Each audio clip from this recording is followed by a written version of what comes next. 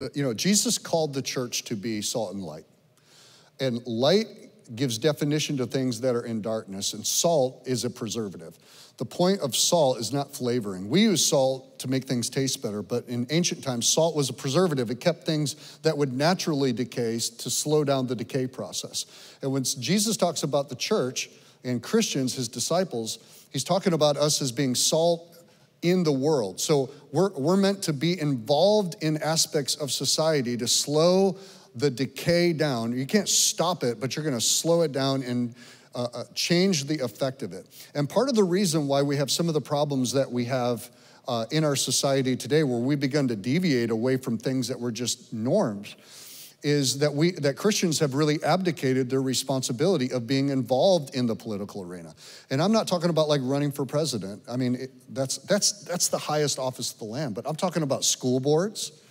I'm talking about running for uh, city councils and village, uh, you know, boards. I'm talking about uh, being involved as state reps, uh, state senators, judges.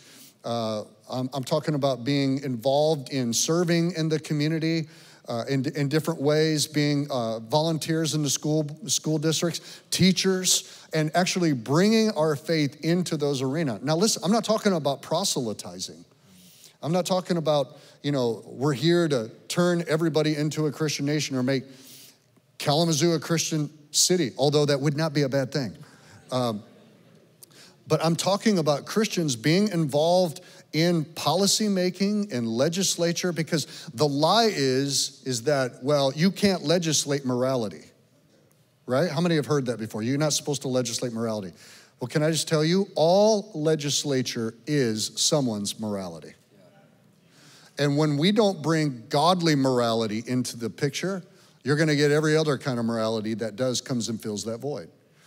And so I, i'm an advocate that it's like we, we should not just be voters, but we should actually be in, involved in the process. At the same time, recognizing that there are, you may win and you may lose, but politics and government is not our hope. Our hope is the kingdom of God. There is coming a day when our king that we sang about this morning is going to return and he's not running for office. Psalm 2 says God's already put him on the throne. He's reigning and ruling, and someday he's going to break out of eternity, step back into history to take his destiny, which is to rule the nations of the world. And that's our blessed hope. And we trust that history is in God's hands. But at the same token, we have a responsibility to be involved. So I think in the future, we need to see a lot more people in, in the church, not just this church, but in all I mean, there are thousands of people in Kalamazoo that are Christians that go to church that can be salt to slow some of the effect of some of this craziness that's going on in our society.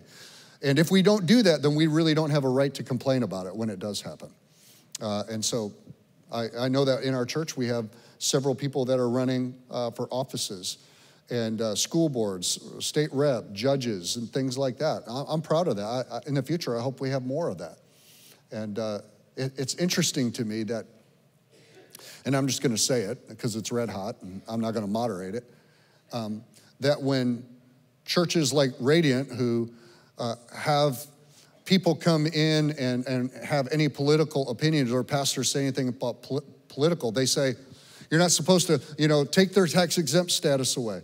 But I just want to remind you that two weeks ago, Kamala Harris went to a black church in Atlanta, Georgia, and stood up and quoted scripture, and they fully endorsed her. And not a single major media outlet condemned that as being a separation of church and state. So uh, it's it, uh, there's never been a church that has lost its tax exempt status for talking about politics. And the church has always had a voice into politics. And we're either going to be a prophetic voice to politics or we're going to become a product of politics. And I believe that Jesus has called us to be a prophetic voice to the political arena.